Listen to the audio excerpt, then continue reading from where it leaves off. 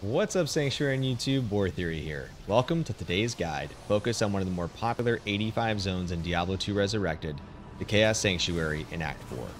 What makes Chaos Sanctuary super interesting is that there are different ways that you can farm this area, and I'm going to showcase two different mechanical ways to do this in today's demonstration and review.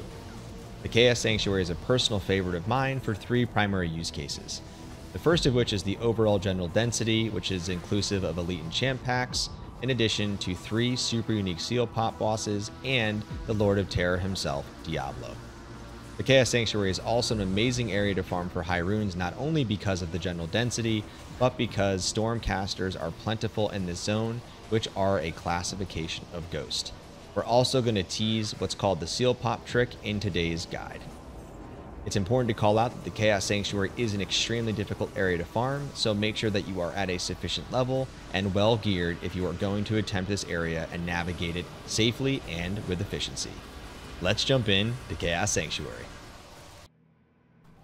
The beauty of Chaos Sanctuary is its general accessibility, even for relatively low mobility characters, as the River of Flame waypoint and Bridge North are straightforward to navigate to the entrance.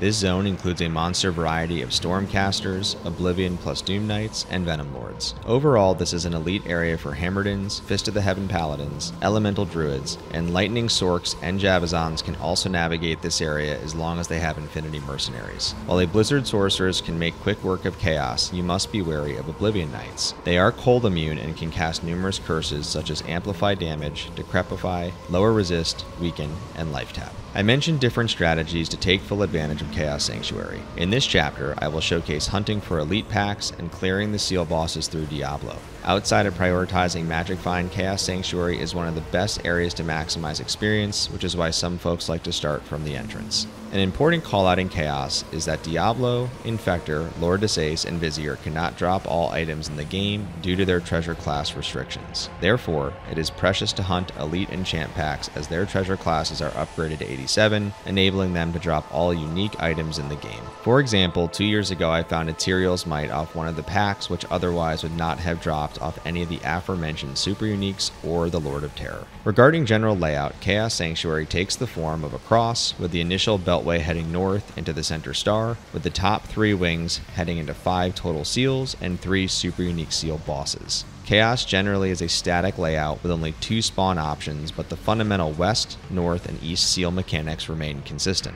Every player has general preferences for which wing to hit first, but I like to head west to Grand Vizier of Chaos. Grand Vizier of Chaos is a super unique Stormcaster that always spawns extra strong and fire enchanted. He is a monster level 88 with a treasure class of 78, and he is eligible to drop Cham. Vizier spawns with 11 minions on the seal pop, but they are relatively easy to clear. Heading east, Infector of Souls is a super unique Venom Lord that always spawns extra fast with Spectral Hit. He is also monster level 88, treasure class of 78, and can drop Cham. Similar to Vizier, he spawns with 11 minions.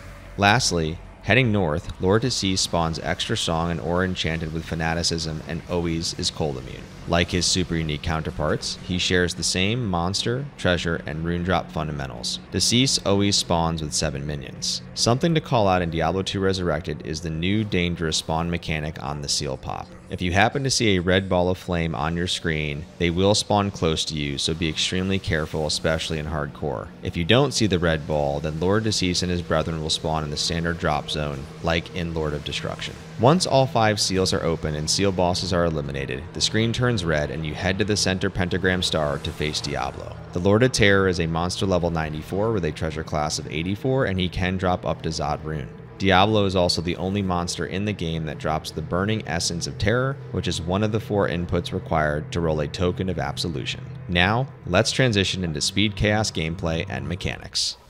One of the key strategies for navigating chaos quickly and efficiently is speed or taxi chaosing. This is an effective farming method, especially for cold sorks, which enables them to avoid Oblivion Knights, focusing purely on the super unique seal bosses and Diablo. The combination of seal kill speed and run count over time will directly contribute to acquiring better loot more swiftly. The primary reason to focus on speed is to take advantage of the seal pop trick mechanic to acquire additional loot. This trick is often overlooked or unknown to many Diablo players. Speed seal popping does require teleport to pull this off properly. Let's review a few of the fundamentals critical to this approach. First, Magic Find has zero influence on loot drops from the active monsters.